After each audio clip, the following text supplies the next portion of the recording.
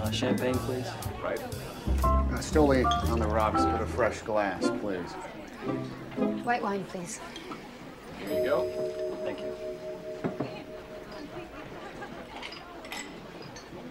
Oh, hello. Hi. Hi.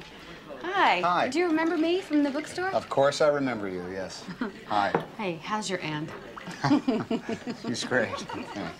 I better go deliver this. Ah. I have a very thirsty date. She's part camel. Mm-hmm. Joe, right? It's Joe, isn't it? And you are Kathleen.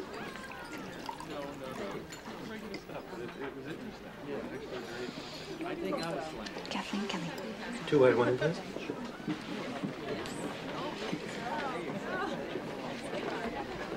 I cannot believe that you were speaking to Joe Fox. Joe Fox, Joe Fox. as in. As in, uh, he's gonna take over everything?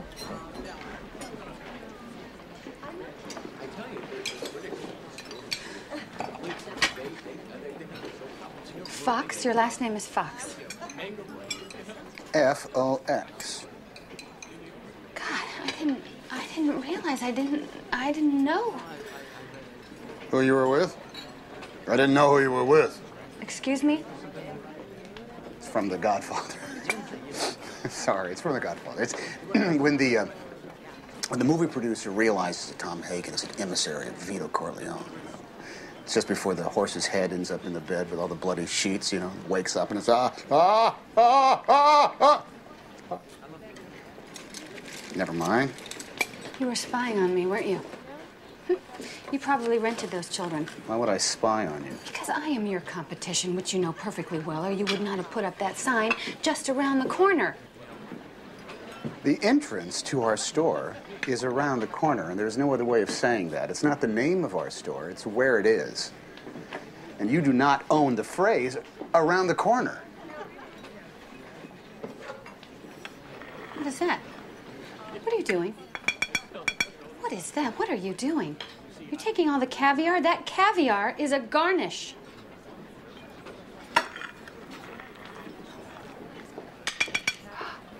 Look, the reason I came into your store is because I was spending the day with Annabelle and Matt, and I was buying them presents. I'm the type of guy who likes to buy his way into the hearts of children who are his relatives. There's only one place to find a children's book in the neighborhood. I, that will not always be the case. And it was yours, and it is a, a charming little bookstore. You probably sell, what, $350,000 worth of books in a year? How did you know that? I'm in the book business. I am in the book business. I see. And we are the Price Club. Only instead of a 10 gallon vat of olive oil for $3.99 that won't even fit under your kitchen cabinet, we sell cheap books. Me, a spy. Oh, absolutely.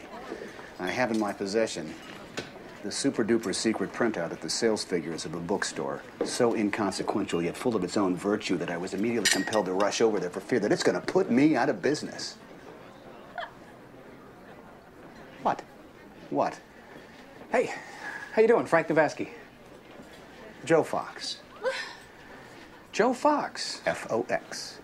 the inventor of the Superstore, of course. The enemy of the mid-list novel, the destroyer of city books. Tell me something, really, how do you sleep at night?